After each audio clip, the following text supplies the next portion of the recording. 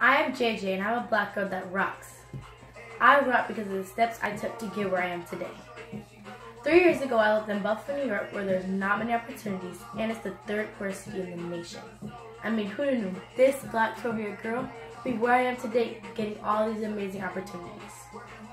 When I was only three years old, my dad was incarcerated, and at the time I didn't really understand what was going on. And it was very hard for me to be able to communicate with him because we didn't have a lot of money to get the supplies, like envelopes and stamps, and it was really hard for us to talk to him on the phone because it cost a lot of money. And we didn't have that much money to spare. We had to take care of ourselves still.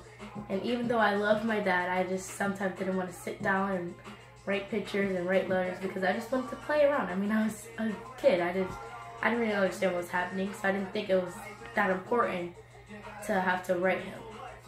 So when I was nine years old, which was when my dad was released from prison, my mom decided that it would be better for us to move down to Florida with him. And then when I was 12 years old, I decided that maybe I should build an app for children with incarcerated parents so they can have a better, easier way to communicate with their parents. Because I know it was very hard for me, and I didn't want all these children to have to worry about that hardness.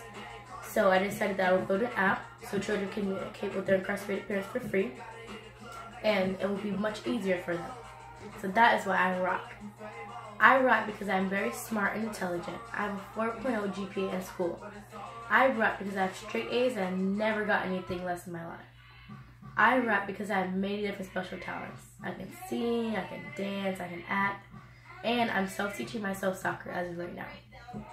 I rap because I'm unique, I'm powerful, I inspire others to do as much as they can.